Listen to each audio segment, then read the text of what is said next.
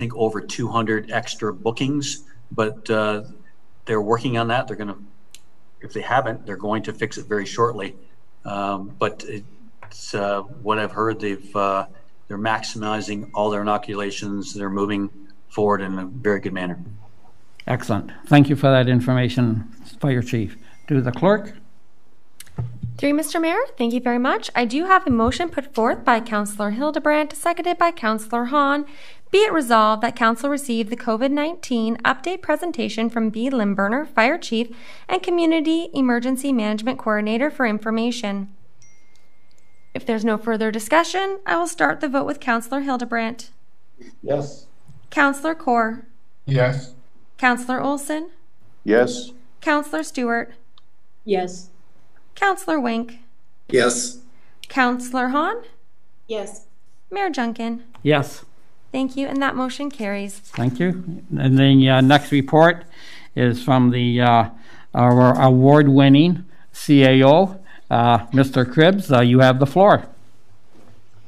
Good evening, Council. Uh, my presentation this evening was going to be about uh, use of the MCC as a vaccine and inoculation site but I feel like that's now been effectively canvassed. So uh, unless there are questions, I'll uh, just take a pass this evening. Thank you. Okay, uh, thank you, Mr. CAO. Any questions uh, that perhaps didn't come out in the chief's uh, conversation with Councilor Hildebrandt? Anyone have any other further questions? Not seen any, Madam Clerk? Through you, Mr. Mayor, uh, thank you very much. For good measure, we have a motion put forth by Councillor Stewart, seconded by Councillor Wink. Be it resolved that Council receive the COVID 19 update presentation from D. Cribbs, Chief Administrative Officer, for information. And unless there's any discussion, we would start the vote with Councillor Kore. Yes.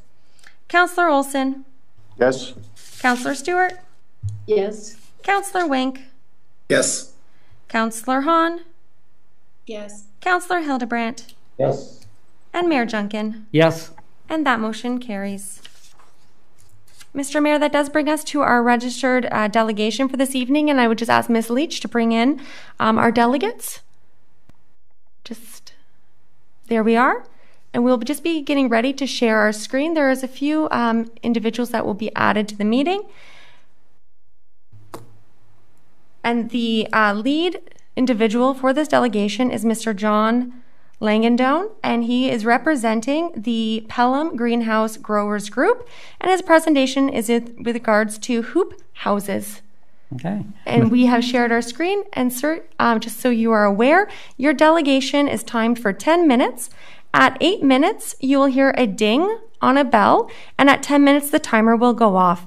You may begin whenever you are ready. Mr. Langendoen, you have the floor. Okay, all right see me and hear me? Uh, we be nice if you could speak up louder, sir. Okay, how's that? A little more. A little more. That was that was good right there. Okay, all right. Okay, thank you. Evening, Mr. Mayor and members of council.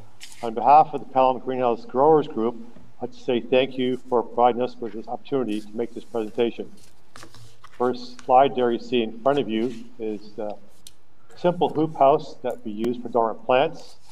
The, um, the um, picture you see below is a uh, complicated greenhouse growing marijuana, and it's a highly advanced uh, greenhouse with lighting, heating, shading, climate controlled with state-of-the-art computer systems. Next slide. Pelham Greenhouse Growers Group, the PGG we call it, um, is made up of 11 nursery and greenhouse operations here in Pelham. Our mandate is to facilitate communication between growers and the town of Pelham. Co-chairs are myself from Willowbrook Nurseries and Louis Dam from Floral Dimensions. Our consultant is Hugh Fraser of OTB Farm Solutions here in St. Catharines. The picture below it you see is, a, is our container area. The plastic on hoop houses have been removed in spring so that shrubs and perennials can grow all summer and into the fall notice the hoop houses, and you see also the plants grown in between the hoop houses. The PGG is a huge economic and job driver.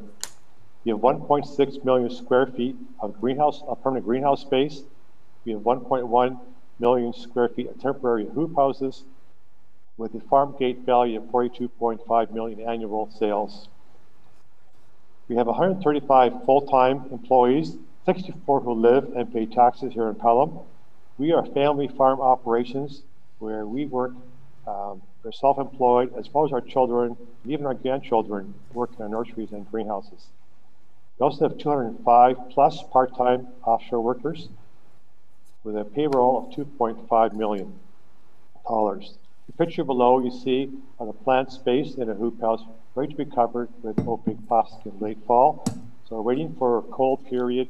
Uh, so these plants are very, very dormant before we put the poly on. This is about this will be about end of October, early November.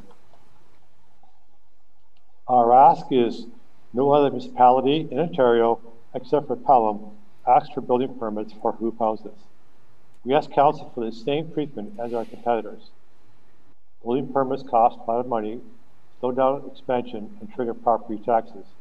Picture below it, you see our boxwood space both outside and inside the hoop houses so we can grow all summer long. These hoop houses serve no purpose the rest of the year. Once the poly is off in early in early spring or even late winter, like this year, for example, uh, we're already pulling the poly off because it's so warm. It does not go back on again until late fall, and that's when the hoops are needed again. Hoop houses have unsuspectingly been caught in local cannabis web. In spring of 2019, greenhouses became no longer exempt from site plan control like all other agricultural uses, likely because of cannabis. In the fall of 2019, an online town report links greenhouses and hoop houses. Existing official plant policies require a zoning bylaw amendment for greenhouses and hoop houses. Lot coverage of the greenhouse or hoop house required that any greenhouse or hoop house be subject to site plan control.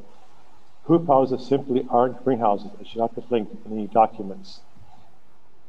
Here are the reasons that hoop houses are not greenhouses. Greenhouses are permanent. Hoop houses are temporary.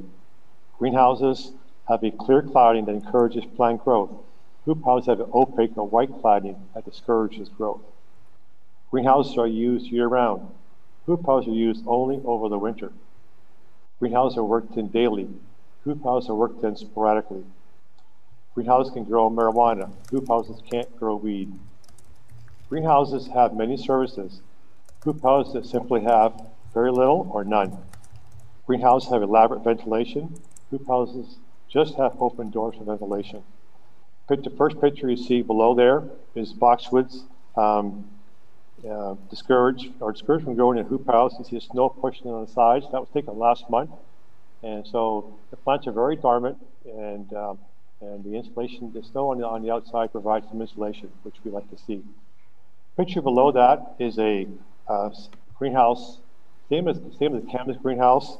They're they're highly sophisticated. They have heating, venting, shading, lights, conveyor systems for shape moving plants, as well as high tech equipment. These greenhouses produce plants year round, not just in not just in summer, but all through the winter months because of the type of technology that you see there. Here are more reasons that houses are not greenhouses. Greenhouses are built by skilled contractors. Hoop houses are built by growers themselves. Greenhouses have permanent floors. Hoop houses are on sand, or on soil, or stone. Greenhouses have foundations set in concrete. Hoop houses just have pipes pounded in the ground. Hoop houses have piers below frost Hoop houses are just pipes two feet, uh, two feet deep in the ground. Greenhouses are heated.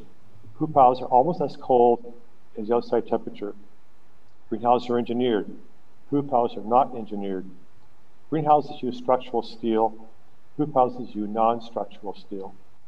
In the picture below, you see how we just pounded the stakes with a sledgehammer. Very simple uh, technology, nothing special about it. There's a string line there to guide us, and that's about it. Picture below that is a typical sophisticated greenhouse built by skilled, contractors. There are more reasons hoop houses are not greenhouses. Greenhouses are often 1 million square feet in size. Hoop houses are rarely 10,000 square feet in size. Greenhouses can get up to 32 feet high under the gutter. Hoop houses are rarely get up to 8 feet in height. Greenhouses are gutter connected. Hoop houses are not connected. Um, there was a little lot, uh, uh, item there about RS, about retail sales tax. However, that's old uh, information. Uh, both pay uh, HST and get to claim it back as input tax credit. Greenhouses are property tax everywhere. Hoop houses only in Pelham. Greenhouses everywhere need building permits. Hoop houses only in Pelham. Greenhouses cost at least fifty dollars a square foot. Hoop houses are about $1.25 a square foot. You see the first picture below there, the architected greenhouses, because of the high technology, the clear cladding, and the, and the heating that's available to them, they can be connected. Hoop houses are not connected. So the air you see between houses allows for snow load to slide off. Next page, thank you for listening. Some believe hoop houses are a slippery slope to growing cannabis inside, but cannabis needs good growing conditions, like in a greenhouse. Not the conditions you see in a hoop house, that is, temporary, covered with opaque plastic that plants won't grow in, they are unheated, ventilated manually. Hoop houses should not require building permits, just like they are not in every other municipality. The picture below you see there is a hoop house being covered, and this is done in early November. Uh, now it's cold out, and we apply the poly just before the snow flies. In closing, I'd like to add that we are a green industry, growing plants and flowers that enhance the beauty of our environment and encourage pollinators, as birds, bees, and butterflies, to thrive. It promotes healthy food production. I've been using hoop houses here at Willowbrook for 42 years. They are, an essential, they are an essential, critical component of our nursery production. All of a sudden, they are a problem. This was unexpected and adds more stress and overhead to our businesses during a difficult time period. We as growers were not notified or included in any discussions with regard to this change. We grow fruit trees, fruit bushes, herbs, and veggies so that homeowners can grow their own food. We grow large numbers of shade trees and native plants to do our part to be good stewards of the earth and to help minimize the effects of climate change. Our business has also been hit hard with the COVID pandemic. Our company alone will spend over half a million dollars between this year and last year to ensure that all our staff are kept COVID free and COVID, COVID safe. Some of these costs we can recoup, a lot of it we cannot recoup. We need less challenges, not more, to keep our businesses viable going forward during an extremely critical time. We also have a letter uh, included from both GGS Structures and our association, Landscape material. that will further clarify any questions on hoop house structures and our association's experiences in municipalities. Thank you. Okay. Thank you for the presentation, Mr. Langendoen. Much appreciated. I will now uh, turn to counselors. Anyone have any questions to ask John on his uh, on his presentation? Uh, questions or comments? Uh, I see Councillor Stewart. Yes, thank you. Thank you very much for the presentation, John. Um, just a couple questions. Um, you're talking about hoop houses versus greenhouses. There's obvious differences, but are there dif- different types of hoop houses? Uh, uh, yes, there is. Um, and so uh, the hoop houses you see uh, in my presentation are very simple, uh, straightforward, uh, low technology. And but there's also our um, what are called freestanding greenhouses. So a freestanding greenhouse is similar, kind of in between the hybrid of a hoop house and a hybrid of a Garden range. They are about 30 by 30 feet in width, uh, could be 300 feet in length. Um, they are of structural steel. Um, they are heated. They are ventilated. They are also uh, computer run. Um, they also have venting in them, um, automatic automation, automatic irrigation, those sorts of things. So uh, sometimes there's confusion between what's a hoop house and a freestanding greenhouse, and and and so uh, that is confusing for yeah for uh, for um, inspectors and for building departments to understand. Thank you. I've uh, one more question. Is there ever an exception where there could be a requirement for a building permit for a greenhouse? Are Uh, you, expecting to be like all exempt? Okay, um, sorry. Uh, also back to the first question. Also with those freestanding greenhouses, we grow plants in there year round. So uh, there are people employed working in there all winter long as well. So there is a difference there too. In that a hoop house, there are no employees in there all winter long. You saw the picture of the uh, hoop house that's um, um, covered in snow. Um, during that time period, there was no employees in there whatsoever waiting for the snow to, to melt away. Uh, whereas with freestanding, they're heated, so there are employees working there in, in there all winter long. With regards to, um, um, oh, uh, with regards to building permits for hoop, for hoop houses. So, um, prior, as we put this presentation together, um, our association, which now is uh, 20, 20 members strong, put out a survey to the membership. Um, and the, the growers responded to the survey, and of the growers, we had a 43% return on, on the survey, which is pretty good. Um, all those growers, not one of them was, ever, was asked to have to get a building permit for hoop houses. Not one of them. Um, however, there are, are also um, independent garden centers members in that group, and so they are, and they when they built hoop houses, they were in a commercial retail environment, and they were asked to take a building permits. Uh, so uh, GGS structures, for example, was one of them that we that we talked to, and they had an instance with Walmart where they were asked to provide a engineered um, drawing for a hoop house, and they said we can't do that. Um, we can engineer the anchor posts because they were set in concrete and asphalt, but we can't engineer the hoops. It's simply just not possible because of the type of structure. So um, that's a case where um, uh, where a building permit was, uh, was requested, but they only were able to do the anchor posts. Um, Thank you. Thank you, uh, Councillor, for the questions. Any other questions from Mr. Langendoen at this time? And I see uh, Councillor uh, Olson. Uh, through you, Mr. Mayor, uh, how long do you, uh, the covers usually stay on the, the hoop houses? So, uh, so we applied in November, early November, um, and it's kind of a, a, bit of a waiting game, watching the weather. Um, two things: the plants have to be very, very dormant. So the flowering shrubs, the leaves got to be off, the, the buds got to be dormant, and um, so there's they've already had a few nights of few nights of heavy night frost because uh, you don't want any growth in, in a hoop house. You can't have any growth. Any growth in a hoop house would detrimental to the quality of the plant. You would jeopardize your quality. So it's on for about uh, for about four, four, four, four and a half months. So say mid-November, December, January, February, mid-March. All depends upon the weather. Um, and so right now, uh, a few weeks ago, we had uh, it got very warm, and we cut holes. Every other hoop had a three-foot hole on the east side to cool the plant down. You just do not want growth in the, in the, on these hoop houses. The plants from here will go to garden centers and they'll be outside outside environment. So the plants got to stay dormant.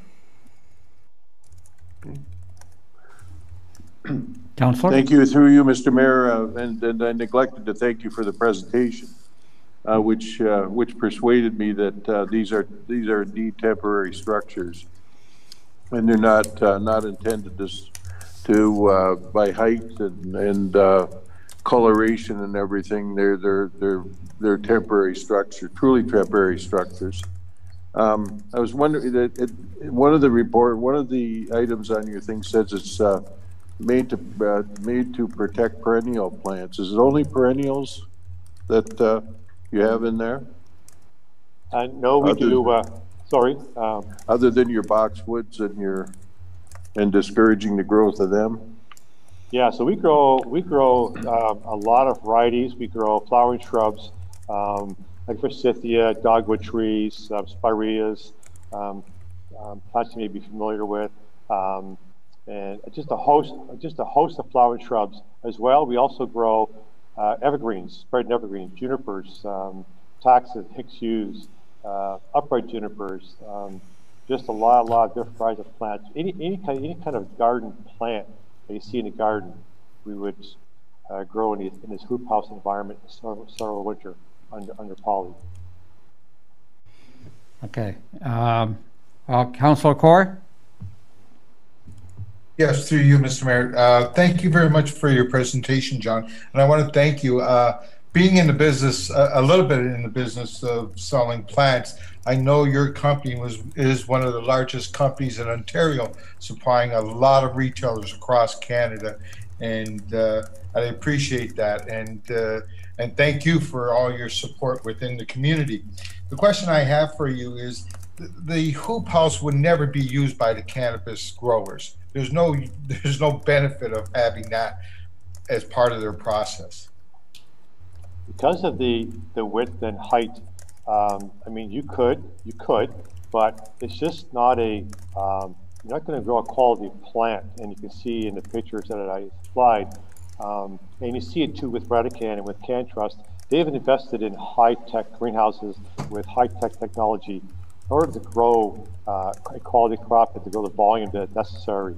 Uh, I, I mean, sure, um, you could, you could be in a hoop house, um, uh, what kind of quality you get from that, I, and for long term, um, I mean, if the poly's on in the summertime, you're gonna burn the crop, it's just, it gets too hot in there, it's just not conducive. So, um, I mean, you can grow, um, you can also grow in sea containers, you can grow it in barns, unused buildings, chicken barns, which, uh, you see being used, but, um, uh, a hoop house is just, I think it's like a last resort really to try and grow cannabis. Councilor? And- And one more question, I don't know if you can answer this. What is your opinion that since Mexico legalized the cannabis business? Well, in Mexico, you won't need a greenhouse or a hoop house. You can grow them outside, probably pretty much year round. So would you think the cost of uh, growing marijuana in Mexico probably in half or uh, seventy-five percent? Well, we also um, we also uh, uh, work with plants that are in the southern U.S. and we also compete with growers from southern U.S. who also grow junipers, and they can grow uh, those plants outside year round. So uh, because of our dollar, we are protected somewhat. But yeah, they've got a huge advantage over us growers here up north. Thank you. Okay.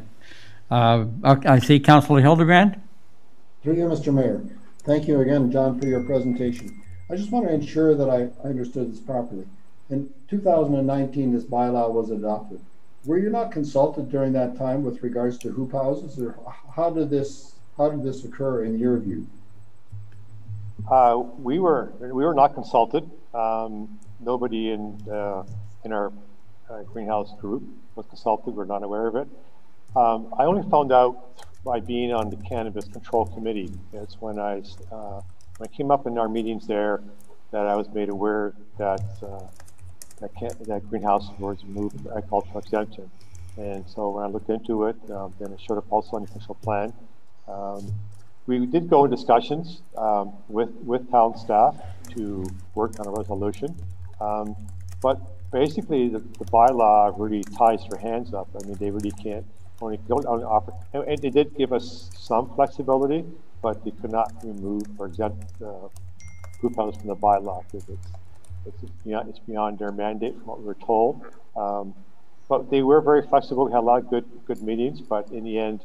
Um, uh, I did apply for uh, more hoop houses last, last year, and um, I was told I had to apply for building permits as well as go for site plan control. So at that point, I, I pulled my request. Uh, I've not built anything since. Just I've only, I've only built uh, since that time freestanding greenhouses. Thank you, John. Appreciate your comments. Okay. Uh, Councilor Haun. Mayor, uh, thank you very much, John. Thank you for taking the time to bring all of this to our attention. Um, so, what I would like to ask, I guess, is uh, for a report from staff to come back to council um, to exempt uh, hoop houses that are winterizing plants and for the purposes of not growing plants to be exempt from um, the building permit. Okay, thank you, Councilor. I thought, yeah, I'll, I'll either go to the CAO or uh, uh, the planner. I will go to the CAO, uh, Mr. Uh, Mr. Cribbs. Good evening again, Council. Thank you for the delegation, Mr. Langendoen. Uh, I would submit to you that it, uh, a staff report is the appropriate mechanism and outcome. Uh, I would, however, submit to you that you uh, word it in a more neutral fashion. I would not want council to think that uh, there were not a number of errors in the presentation given to you tonight. Firstly, I can inform you that uh, we were guests of Mr. Langendoen specifically when we went out for a consultation with his group in 2019. Barbara Wiens and I attended that, as did his worship, as did Councillor Chofie.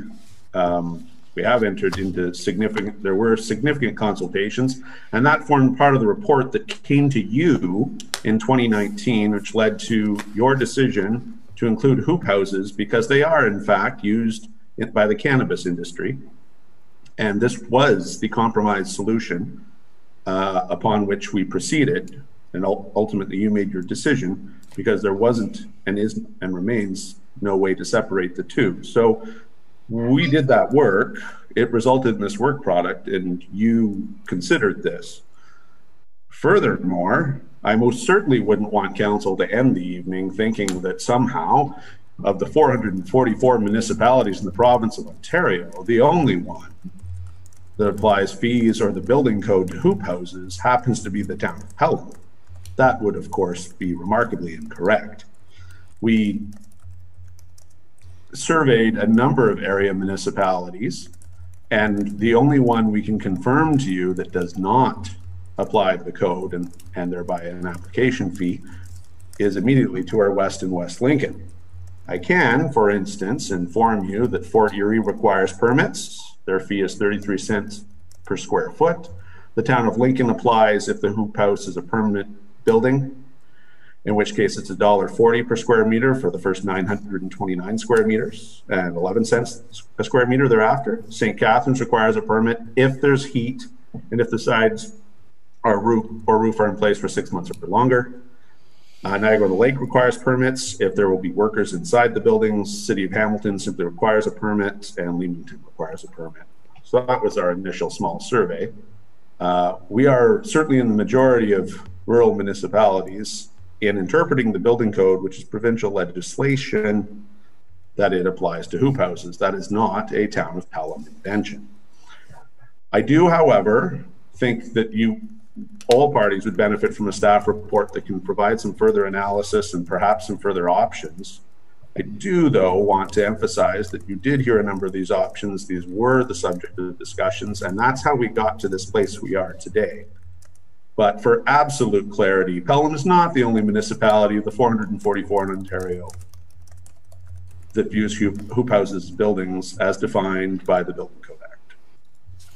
Okay, uh, thank you for that clarity, Mr. CEO. Uh, it is interesting, however, as you noticed, uh, that there, the other municipalities, some of the municipalities, especially in the region, uh, do seem to be uh, uh with the no heat clause, uh, six months. Uh, they do yes. seem to cut their greenhouses a little slack, sir. Well, absolutely, and we'd like to include those details in reports so for you to have choice. We just want to make it abundantly clear we're not the only one in the province. Okay. And that you have considered this item during this term of council. Thank you, uh, sir. I see uh, Mr. Langendoen uh, has his hand up. Go ahead, sir. Thank you, Mr. Mayor. I'd like to reply to the uh, comments from Mr. Cribbs. Um, our association is uh, 2,800 members strong, and we did do a, a complete survey of the membership um, of the nursery growers who are members of the association. We had a 43% return uh, of the survey, and not one of those growers is required to apply for a hoop house permit for nursery use. That is, includes Langdon Nurseries in Niagara Lake. Um, also, more nurseries in the past, as I checked with Craig Larmer. It also applies to J.C. Barker Nurseries in St. Catharines. They've never been asked to, um, and uh, particular permit, building permit. They have been in consultation with their building department it also applies to Maple Leaf Nurseries in Lincoln. Um, same thing, they built hoop houses last year. They're not required to take a building permit. Also applies to Blue Sky Nurseries, which is in Beamsville. Um, same thing there, they built hoop houses. They're not required to take a building permit. Some of the biggest growers in our industry are in the Golden Horseshoe. Also includes a huge uh, operation in Flamborough, uh, which is part of Hamilton Wentworth, um, called Connon Nurseries. The biggest one is called Con and NVK. And he advised me on Friday that if he was to put all his hoop houses end to end, he'd have 10 kilometers of hoop houses. And he has never been asked to get a building permit. Yes, he has been visited by the building department. When he explained what, what they were doing, it was fine, they were exempt. Um, and this is across the board. Every time um, there was hoop houses being erected, or, or each time when it was uh, visited by the building department, they explained what they were doing, and they were exempt. So um, when I applied, when I asked for to build um, hoop houses last fall, I was told I'd have to submit a building permit, which would include site plan, uh, site plan uh, illustrations.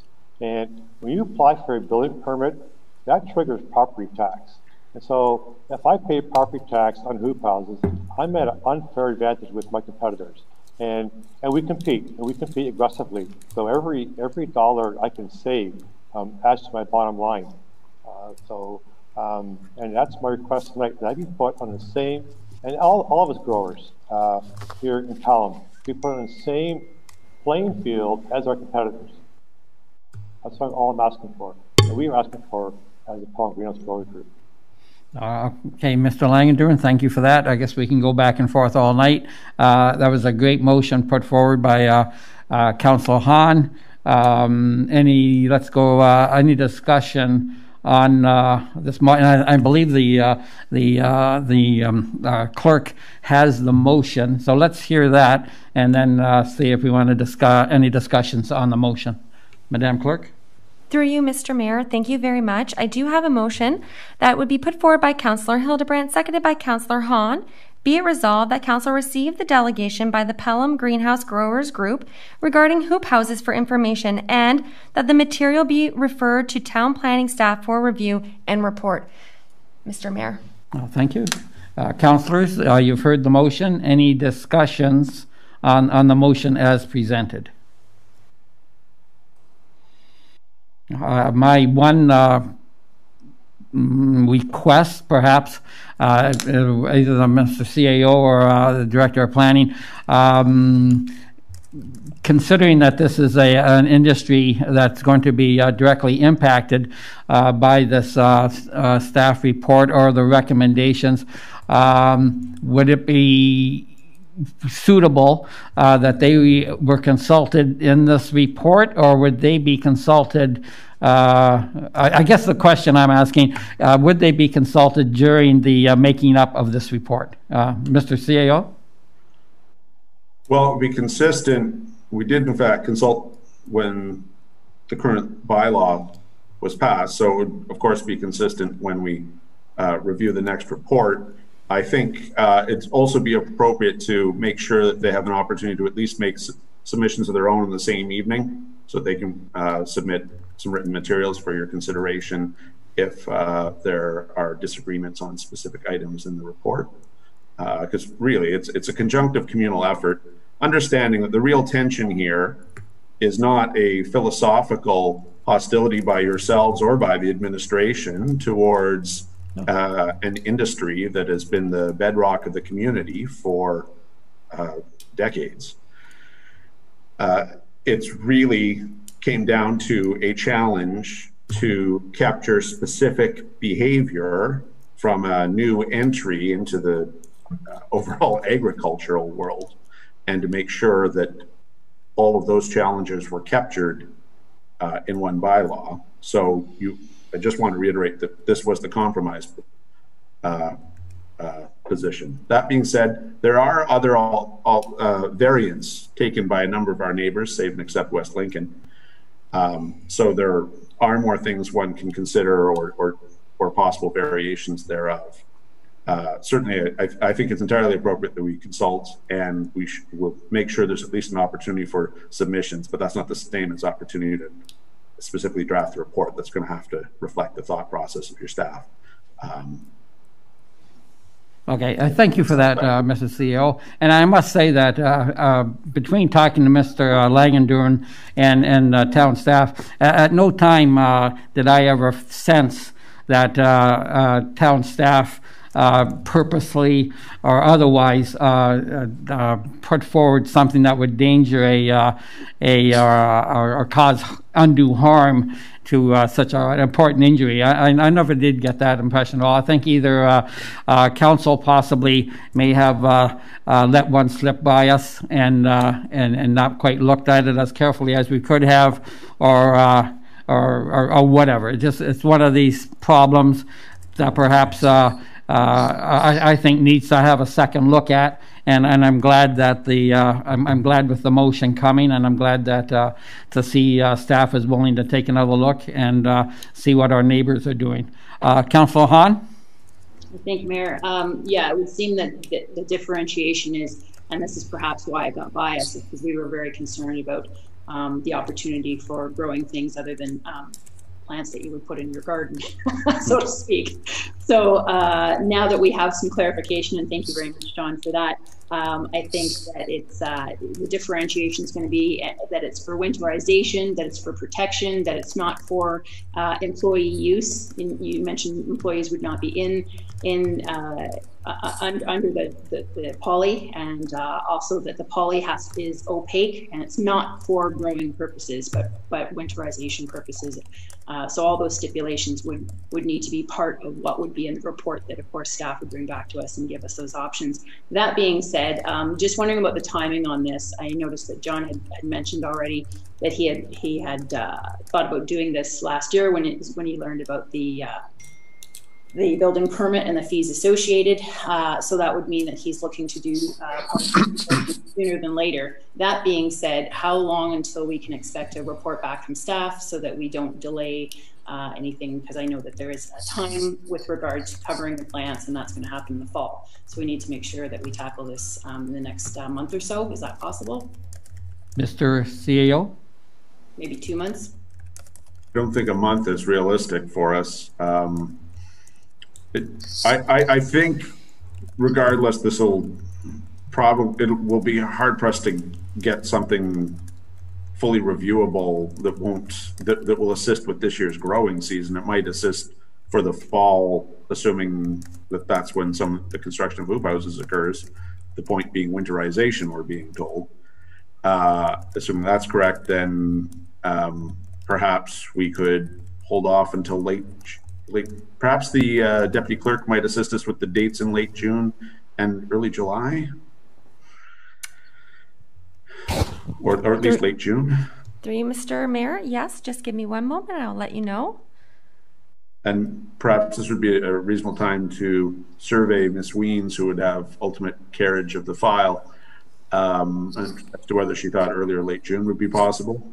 Uh, through you, Mr. Mayor, we do have a regular Town of Pelham Council meeting on June 7th and then another one on June 21st. Thank you, uh, Deputy Clerk. Let's go to uh, Ms. Wiens, uh, Director of Planning. Uh, uh, Ms. Wiens, any uh, comment on either one of those dates, perhaps? Uh, uh, do you think that's feasible? Uh, Yes, Mr. Mayor, through you, I would think that the uh, late June meeting date would be um, feasible. Okay, thank you very much. Any other questions, comments from any councilors, uh, either presentation or concerning the uh, upcoming staff report? Not seeing any. Um, Mr. Langendoen, we thank you again, uh, you and your group, for uh, bringing uh, the presentation tonight to us. Uh, have a good evening, sir. Okay, thank you very much. Good night, all. Good night. Uh, Madam Hey, Clerk? John. Thank you. Through you, Mr. Mayor. Um, I wanted just to know if council wanted to formalize the June 21st date um, for 2021 to have the report back as a formal amendment, or if council is satisfied that um, Ms. Wiens and Mr. Cribbs have indicated that is doable. I, I think we can leave it in their, their hands. Madam Clerk, uh, council uh, suited with that? Okay, thank okay, you. thank you. If there's no other further discussion, I would start the vote with Councillor Olson, Yes. Councillor Stewart, Yes. Councillor Wink, Yes. Councillor Haun, Yes. Counselor Hildebrandt, Yes. Counselor Kore, Yes. Mayor Junkin. Yes. Thank you, Mr. Mayor, and that passes. That does bring us to the adoption of minutes, and I do have a motion put forth by Counselor Stewart, seconded by Counselor Kore. Be it resolved that the following minutes be adopted as printed, circulated, and read. One, SC 03 2021, Special Council Minutes, February 24th, 2021. SC 03B 2021, Special Council Minutes, February 24th, 2021. 3. SC 04 2021, Special Council Minutes, February 25th. 4. C 04 2021, Regular Council Minutes, March 1st, 2021. 5. SC 05 2021, Special Council Minutes, March 1st. Mr. Mayor, if you'd like to call to see if there's any errors or omissions? Yes. Any errors or omissions on the minutes uh, just outlined by the deputy clerk? Not seeing any. Thank you, Mr. Mayor. I will begin the vote with Counselor Stewart. Yes. Counselor Wink. Yes. Counselor Haun. Yes. Counselor Hildebrandt. Yes. Counselor Kore. Yes. Counselor Olson. Yes. Mayor Junkin. Yes. That motion carries. Thank you. Through you, Mr. Mayor, we are now at item seven of the agenda.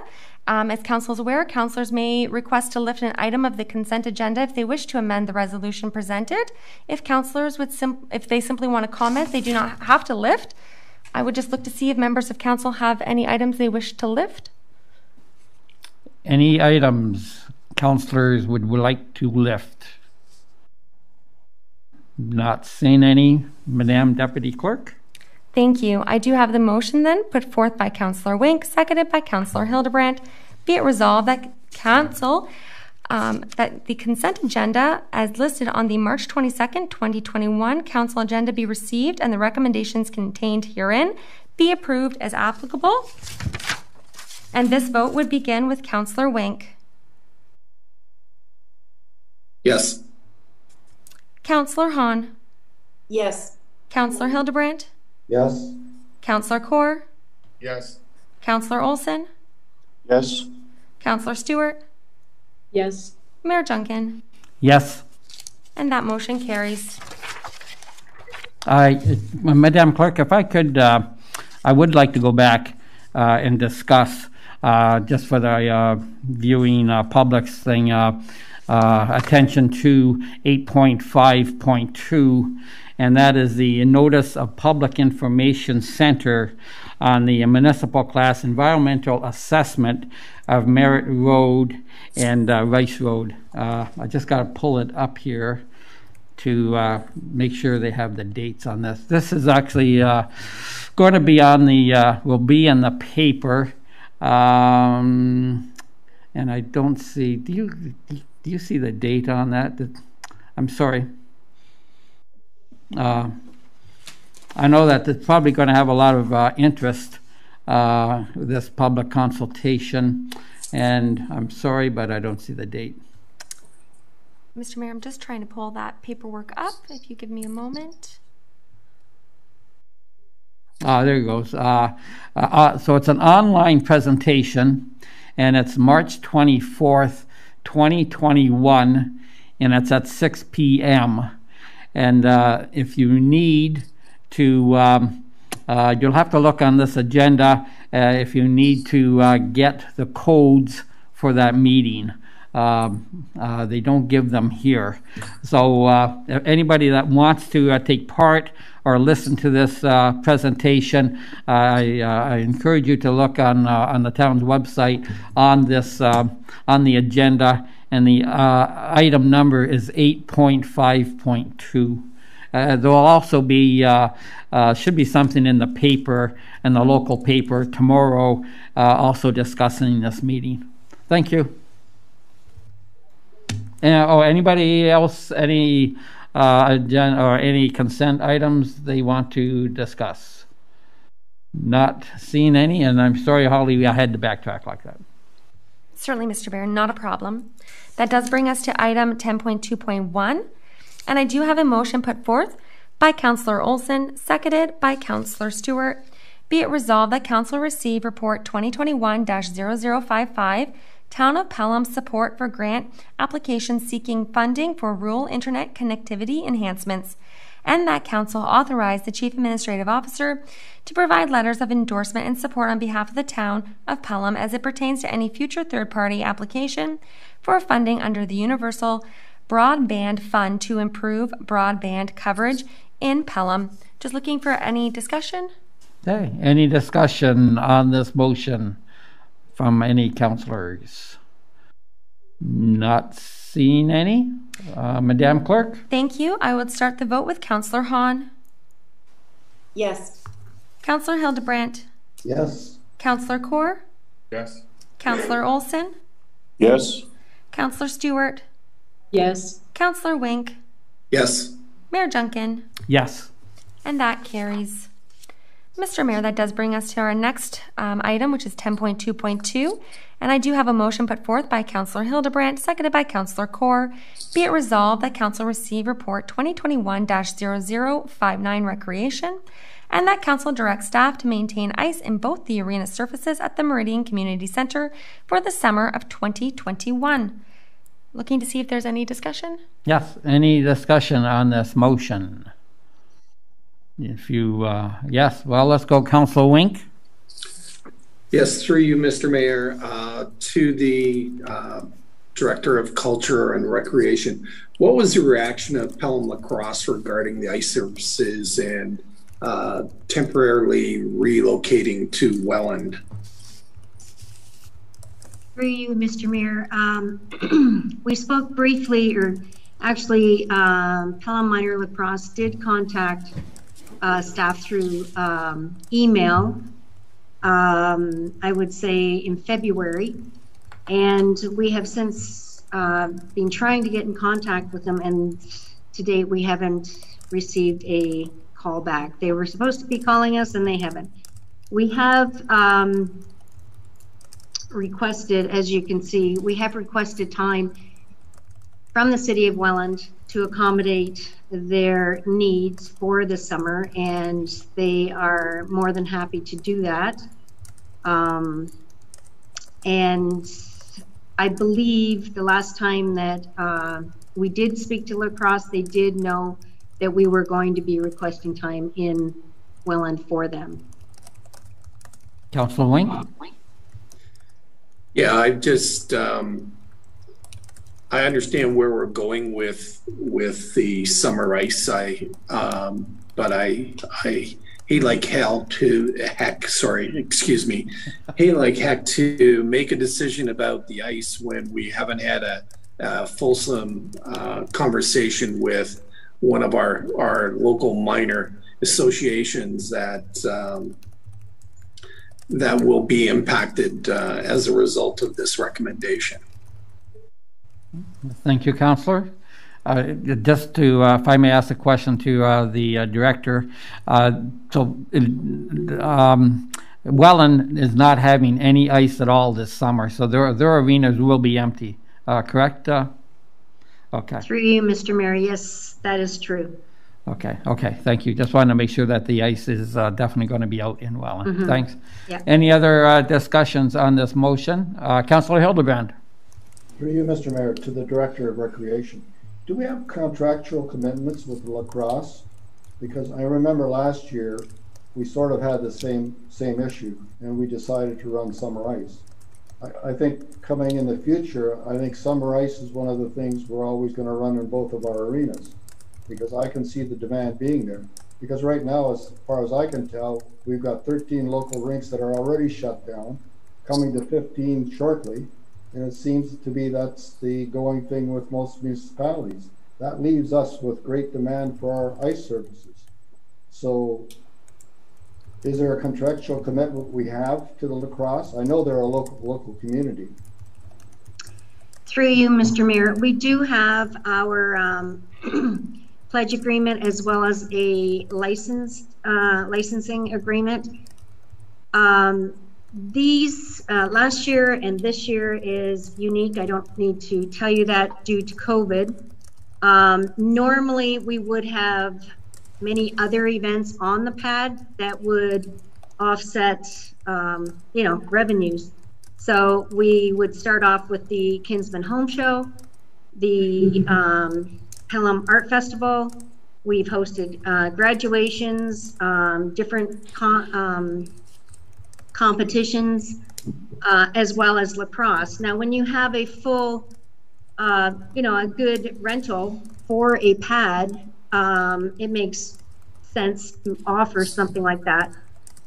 Um, whereas this year, we only had limited use through um, lacrosse at um, estimated um, revenues of $5,400.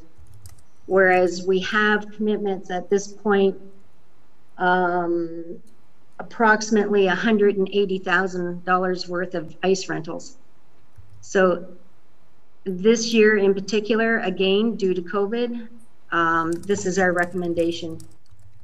Thank you. Uh, Councilor Hildebrandt, before you, uh, if you have another question, I'd, I'd like to go to the Mr. CIO. Uh, well, my answer is a variant on Miss vanRavenswaay's. Uh, one of the things, uh, it's a best practice to let the, sorry, I don't have all the terminology uh, mastered, but uh, your ice, your, the ice pad rest. You, it's not designed to keep ice on it 365 days a year in perpetuity. So we do know we need at some point in time in the future to take the ice off to sort of, again, I, I say let it rest, but I don't think that's the technical term. Um, so, so uh, we suspect that this will be the last time we run both rinks all summer long with ice on them. We have every every intention, and of course you have control, but we have every intention next calendar year of going back to the previous uh, setup, the, what, was originally conceived, and certainly there are multiple users then, different cultural groups, plus the sporting group. Uh, in this instance, uh, it, it the staff report is premised firstly on the financial disparity. It's 180,000 versus 5,000, but it's more than just money. That those dollars represent, uh, you know, a, a, a hundredfold increase in use. There will be far more human beings using the the facility if it has ice in it. So there'll be far more exercise, far more community enjoyment, um, and, and so it's just a very, very stark and frankly crass utilitarian analysis uh, for this year only, we, we believe, sir, if that offers some comfort. Thank you, Mr. CEO. Uh, Councilor Hildebrandt, uh, did you have any other questions or comments? Thank you for your comments. Okay, thank you. Uh, Councilor Stewart? Yes, thank you. Through you, Mr. Mayor, um, to the Director of Recreation. Uh, you quoted a dollar figure of $180,000. Is that for the one ice pad or for both? Through you, Mr. Mayor, no, that is for both. Okay, thank you. Yeah. Okay, Thank you. Any other questions or comments on the motion? Okay, I, I think the, uh, I, I have to support this motion. Uh, the, the fact that there is, uh, arenas available for lacrosse, uh, five or six, uh, kilometers away. Um, and then the fact that our ice is in, uh, obviously isn't gonna pay us to, uh, doesn't make any economic sense whatsoever to, uh, take the ice out for whatever that short season is and, uh, and, forego, uh, all that revenue and, and the fact that obviously the, uh, it's going to be well used by, uh, by the communities uh, surrounding us and uh, uh, the people within ours. So uh, I have no trouble supporting this motion. Any other questions, comments before we uh, uh, call the vote? Not seeing any. Madam Deputy Clerk? Three, Mr. Mayor, thank you. And this vote will begin with Councillor Hildebrandt. Yes. Councillor Kore. Yes. Councillor Olson. Yes.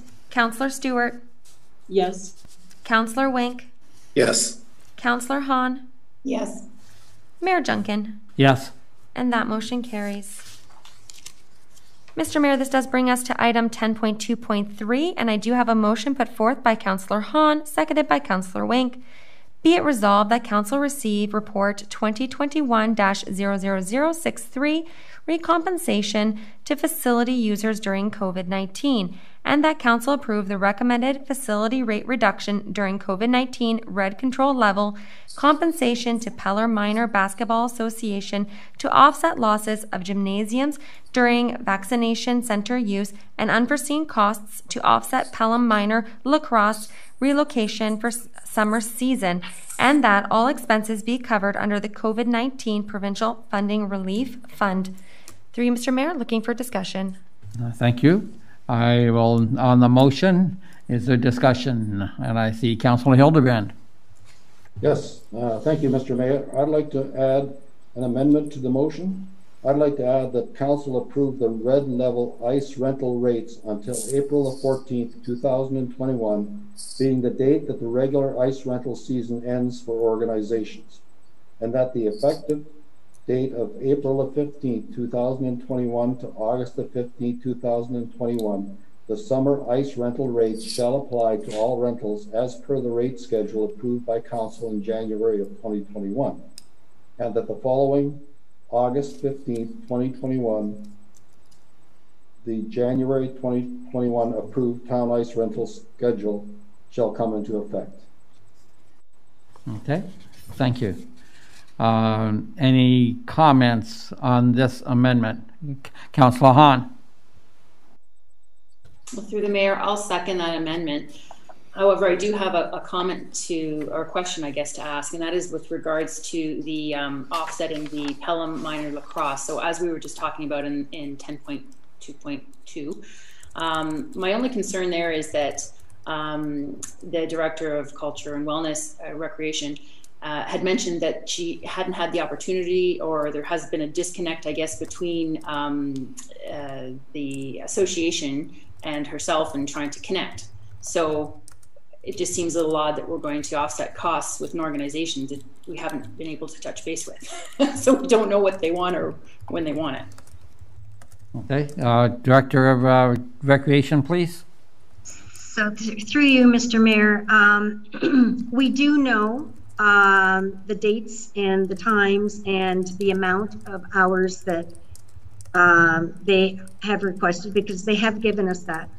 What we're requesting is um, the rates for the pad at the Welland Arena are higher than our rates. So in other words, the difference between, we, we don't want them to be uh, any more inconvenienced than what they already are. Um, and so the suggestion is that the difference we would take out of our COVID 19 provincial um, financial relief fund. I see. I say, do we have uh, any idea, uh, or I guess, but do you have any idea what that would be? Not, not that it matters, it's going to be covered by the fund anyway. Right. Okay. Through you, Mr. Mayor, the, the um, total rental, if they were to rent here, would have been $5,400. So we're looking at, I believe if if it's $1,000, it would be a lot. okay. Yeah, Thank you for that ballpark. It's ballpark. minimal, but Yeah, we want to be able to offset any, any other hindrance. yes, excellent. Thank you. Uh, Councilor Hildebrandt? Through you, Mr. Mayor, I'd just like to clarify the reason for my motion. Um, I had a call from the Pelham Minor Hockey Association, and all they were asking for really in their request was, they said, our hockey ends at the end of March. And I think they're gonna play one Saturday, the first Saturday in, for, uh, on the ice pad. So that's, that's the end. So basically, he was telling me, that's the end of our regular season. We're not asking for anything till we start back up in September. And I guess when we get to September, well, we may have to take another look at it. So for, for them, the suggested red rate up till that date was more than satisfactory. That's, that's all they were asking for. I see. Thank you for that clarification.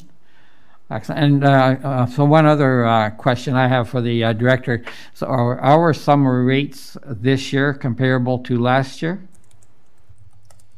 Yes, through you, Mr. Mayor, the, uh, we did not increase our summer rates. Okay. They are the same. Yeah. thank you for that. Any other comments? So, oh, uh, Wink? Yeah, through you, Mr. Mayor, I guess, um, us going to full rates middle of April or whatever, um, we don't know if we're gonna be out of, out of the red zone at that point in time. So the users are gonna be limited to the number of participants that they can have on the ice. But the amendment is suggesting that we charge them full price for the use of the ice rental and doesn't hardly seem fair. Like once the red's lifted, we're in another zone. We can put more people on the ice, and then, yeah, we'll we'll get our full rate. Right. Thank you. I see uh, Councilor Hildebrandt uh, has a statement. Through you, Mr. Mayor. Our regular ice rental rates are two hundred and seven dollars for prime time. Pelham Youth is one forty-eight, non-prime time youth is eighty-seven, and adult is one fourteen. The summer ice rental rates that we approved in January at our budget, summer ice rates, April the fifteenth, August the fifteenth, non-prime time were hundred and twelve. Prime time one forty-eight for youth and one seventy-nine for adults. So they were a reduced rate already for the summer ice rental. They weren't, they weren't our regular ice rental rates. Councilor Wink? Any other? I don't have the um, the other rates in front of me, so uh, I'll take your word for it, Counselor. Okay, thank you. Thank you. Any other questions, comments on the, uh, on the amendment we're on right now? Okay. Uh, um, uh, So perhaps, uh, Deputy Clerk, if you could just read the amendment one last time? Most certainly. The amendment is that the, the amendment is to add the following. That council approve the red level ice rates until April 14th, 2021, being the date that the regular ice rental season ends for organizations, and that effective April 15, 2021 to August 15, 2021, the summer ice rental rates shall apply to all rentals as per the rate schedule approved by council in January 2021, and that following August 15, 2021, the January 2021 approved town ice rental schedules shall come in effect. Okay, thank you. Any other, before we call the vote, any other comments or questions on the amendment? Not seeing any, Madam Clerk? Thank you. So for the amendment, the vote will start with Councillor Kore, Yes. Councillor Olson, Yes? Councillor Stewart, Yes. Councillor Wink, Yes. Councillor Haun, Yes. Councillor Hildebrandt, Yes. Mayor Junkin. Yes. And that amend- amendment carries. Therefore, that brings us to the m- main motion as amended for discussion. So on the uh, motion itself, uh, with the amendment, any uh, questions or comments? Not seeing any. Madam Deputy Clerk? Thank you. We will again start the vote with Councillor Kore, Yes. Councillor Olson, Yes? Councillor Stewart, Yes. Councillor Wink, Yes. Councillor Haun, Yes. Councillor Hildebrandt, Yes. Mayor Junkin. Yes. And that motion carries. Thank you, Mr. Mayor. That does bring us to item 10.2.4. There's a motion put forward by Councillor Stewart count, and seconded by Councillor Olson. And this is in regards to the Park Place South Planning Report.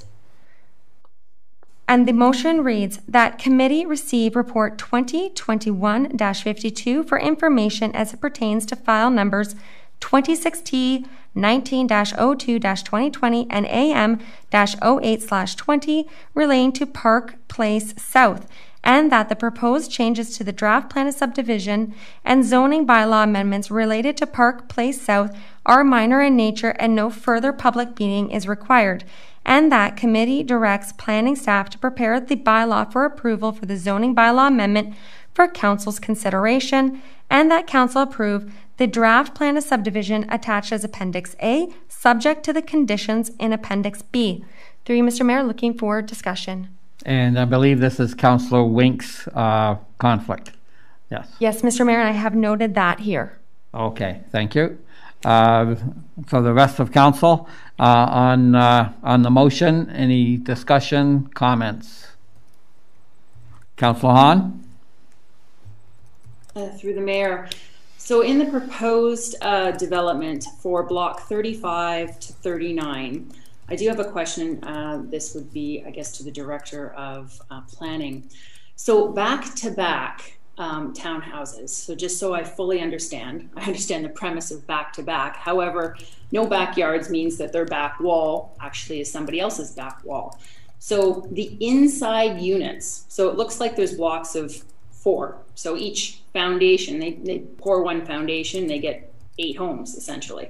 So um, the inside units essentially would have access and light only from their front door and front window. They would have no side light on either side of their home and no light coming in through the back of their home. So kind of cave-like.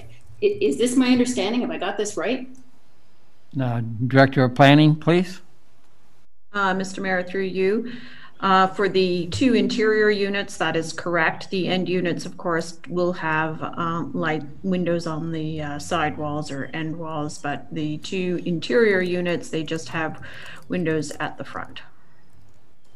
Okay, thank you for that. So um, I guess I'd want to hear from the rest of my counselors, my fellow counselors, because in my opinion, I, I'm actually in almost disbelief that from a, even a safety perspective, that means you have one uh, way to, to, to enter and exit is through your front door. And if there's a fire at your front door, well, you, it's, it's not a good day for you. So um, I, I would be looking to approve this plan with an amendment to the configuration of these to um, look at those blocks again from 35 to 39 on whether it be McCaw Road or Drake Road, um, and have blocks of fours versus blocks of eights.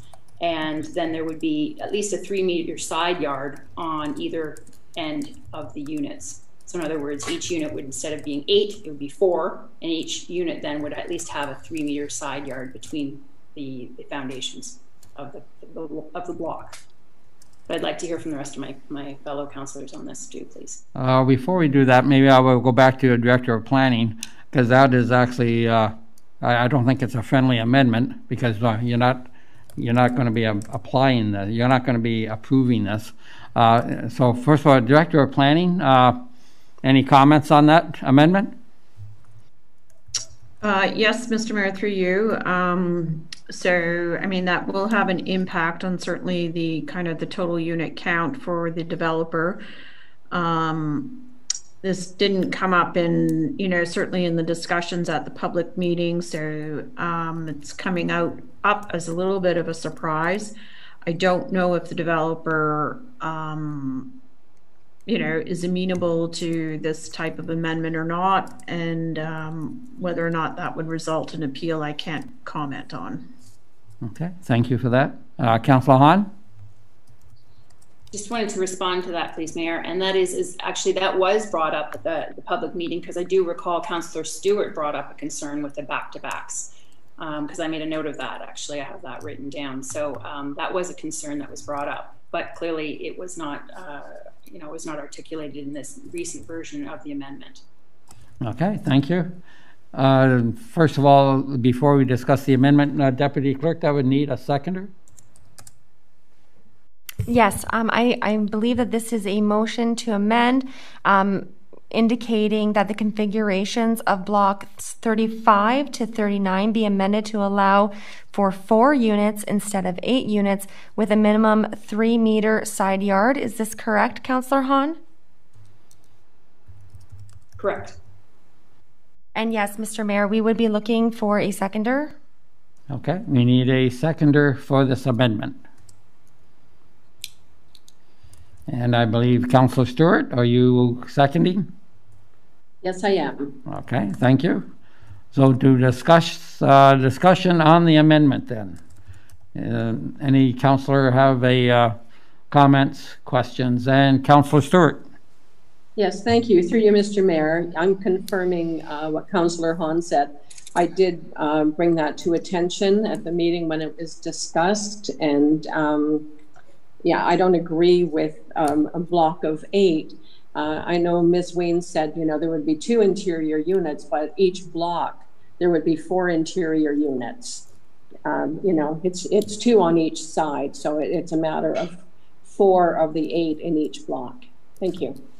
Okay, Councillor Stewart, thank you.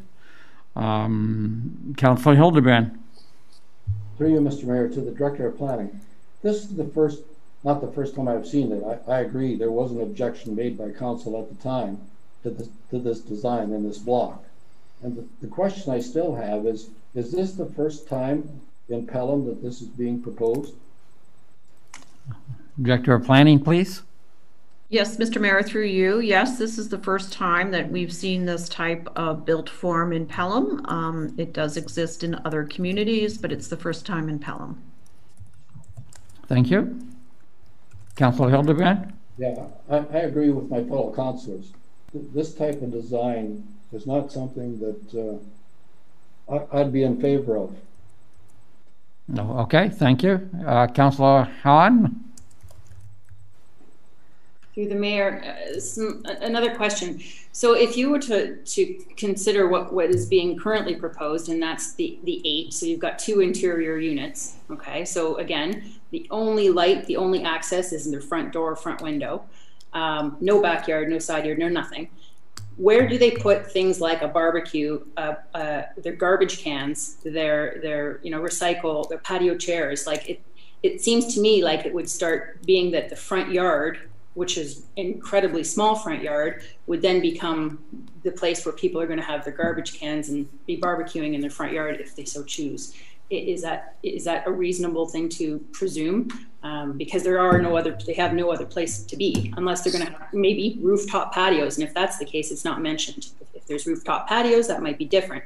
That's not mentioned in this. So maybe you can speak to that, uh, Ms. Wiens. My Director of Planning, please. Yes, Mr. Mayor, through you. Um, I don't have the designs of the units, so I can't speak specifically about rooftop patios and so forth. Um, I would expect that um, there would be some um, private patio space in the front. Uh, there could be balcony space and there could be rooftop uh, patio space, but we have not seen the design of these units. Um, that's not information that I have and I'm able to share at this point in time. Thank you. Any other, uh, Councillor Haun? Thank you. Further to that, I, I, just look at the times we're in where, where uh, you know, just even in a pandemic, you've you've got an awful lot of people who are in downtown cores and cities who would give their eye teeth to have a place to be outdoors um, at the home uh, a, a, larger balcony, a, a, rooftop patio, and anything, um, and and they didn't. So uh, you know we're, we're looking at possibly building a situation very similar in that that people are are in their homes, but if they want to go outside, they really don't have any place outside to be unless, of course, there was a rooftop patio. So based on the fact that we don't know that, um, that's why I'm not in, in, favor of the current configuration. Okay, uh, Director of Planning, please. Mr. Mayor, through uh, through you, I do want to note that there is a park right beside these lands, um, so that will also be uh, amenity space, public amenity space available. Um, but it's not on the subject lands; it's uh, town-owned lands that will be developed for a public park right adjacent to this development. Thank you, Councillor Haun. Thank you. Further to that, actually, and that and that actually is a good segue to another question I had, Ms. Wiens, and that is with regards to playground equipment. Um, how close are we uh, in proximity to where playground equipment will be um, placed? I know there's going to be walkways. We've got the, the, the water, the stormwater management ponds, etc. But where can kids actually play? Is there equipment nearby that's slated to be put in by the developer uh, for them to play on? Director of Planning, please. So, Mr. Mayor, through you again, right adjacent to this site is um, land that's owned by the town that's um, to be developed for parkland, and there would be some type of play uh, opportunity available in those lands. Uh, It hasn't been designed yet, and I would have to um, defer to the Director of Recreation, Culture, and Wellness in terms of the timing. Um, But I believe it's, I just have to defer to her. I can't, I don't want to speak out of turn. Okay, thank you. Uh, Director of Recreation? Uh, Vicky? Yes, sorry, I had to unmute myself. Okay. Um, through you, uh, Mr. Mayor, I believe uh, it actually is in 2022 that that park is slated to be developed. Okay, thank you. So uh, next year then? So developed with playground equipment? I mean, because we, we look at parks, sometimes we call things parks, and they're really just walkways. I'm talking about a park where there's a playground because it seems like we may be in a position where we can ask this developer to, to, to pay for, and perhaps this is already in the agenda, I don't know, but they could put in a playground. Is this something that we can look at? Uh, Director of Recreation, please? Through you, Mr. Mayor, we do have, uh, this is a very large park compared to your normal neighborhood park size. Um, and it is intended to have playground equipment in that area. There's also another playground that is on, off of Lamati, or River Estates as well, which is right down the road. Who's paying for that playground? Uh, just let me double check. Uh, go ahead. Um, Mayor, through you, um, we collect parkland dedication fees from, um, at time of building permit. And so the money that we collect for parkland dedication fees goes into the Park Reserve Fund that is used to fund the development of the parks. Thank you. Thank you. Uh, While you're uh, searching for that, uh, Mr. Van Valenzen, we'll go to uh, Council Olson. Uh, Through you, Mr. Mayor, I'll be voting against the amendment because uh, I don't think uh, we should be dictating the market terms for this housing. There's a need for it and there's demand for it. And uh, I'm contented with the report. Okay, thank you for that, Counselor. Any other questions or comments? Counselor Stewart? Yes, um, not trying to be disrespectful, but um, I disagree with Councillor Olson. I believe it's up to us as council for the town. We need to be the ones guiding the development and what kind of development that um, we, uh, not specifically that we want for the town, but the development that our town needs and our current residents um, would be happy to accept into the town. I don't believe blocks of eight back-to-backs are anything that um, residents in the rest of the town would would uh, be happy with. Thank you. Thank you, Counselor. I guess one last question I have to uh, to the Director of Planning. Uh, so you say um, uh, you've indicated, uh, Director, that this uh, type of development uh, is occurring in other parts of the whether it be the region or the province. Um, um, on a steady basis, I guess is what I'm trying to say. Like, not uh, is, is this a uh, from a planning perspective? Is um, uh, have you do you see any outrageous um, conditions for this? Um, Mr. Mayor, through you, no, I haven't seen any um, um, issues with it. We've seen this type of development in Grimsby. There's some of it in Lincoln. Um, it is something that is used, uh, or you know, a type of housing form that is very good to the entry level um, home buyer and uh, provides them opportunity to get into the housing market. Um, we've seen some of this in St. Catharines. There's some going on in Niagara Falls as well. Uh, this would be the first in uh, in Pelham. Okay. Thank you for that, uh, Madam Director. Any other comments, questions before we call the uh, a vote on the amendment? Not seeing any then, uh, Madam Deputy Clerk.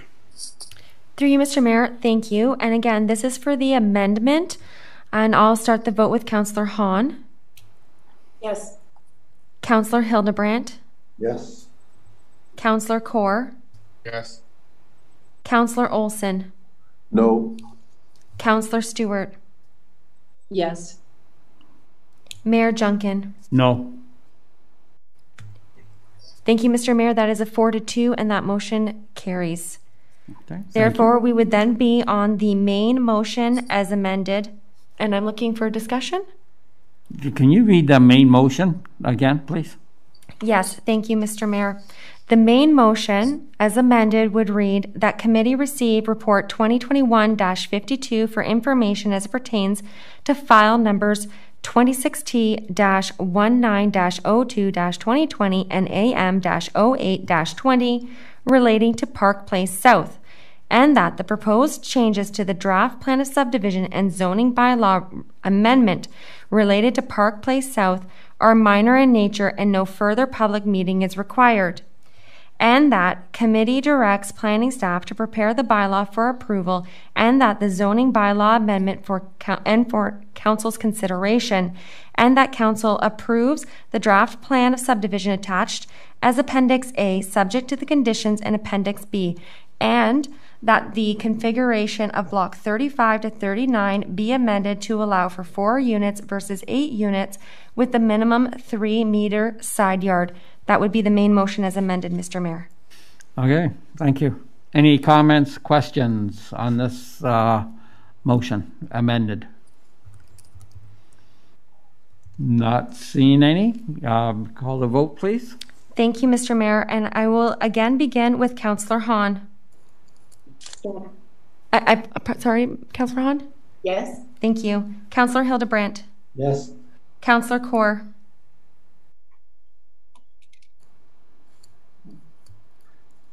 Yes. Thank you. Councillor Olson?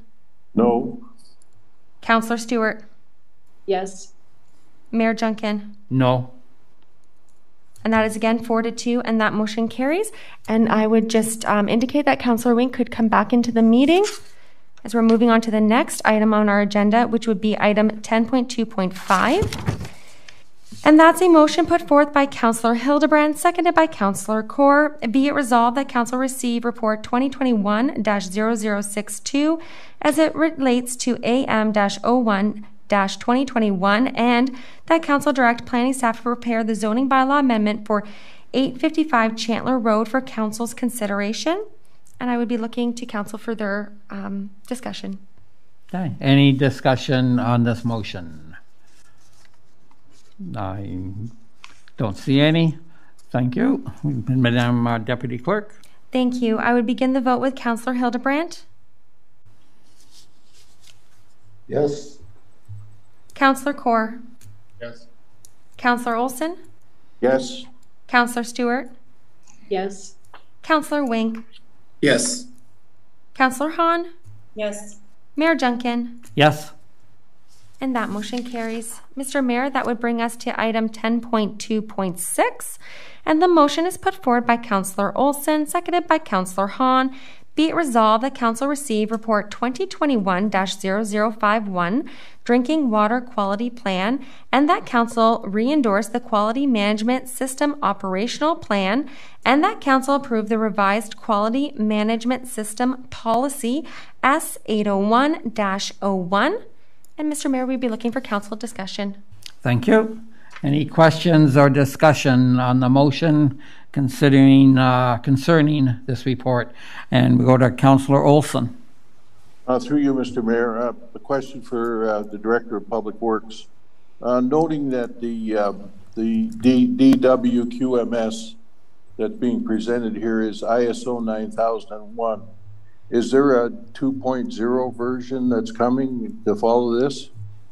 Director of Public Works? Uh, yes, through you, Mr. Mayor. I don't have that answer handy. Um, I'm not sure if Ryan uh, Cook, our manager of operations, can answer that question at this point in time.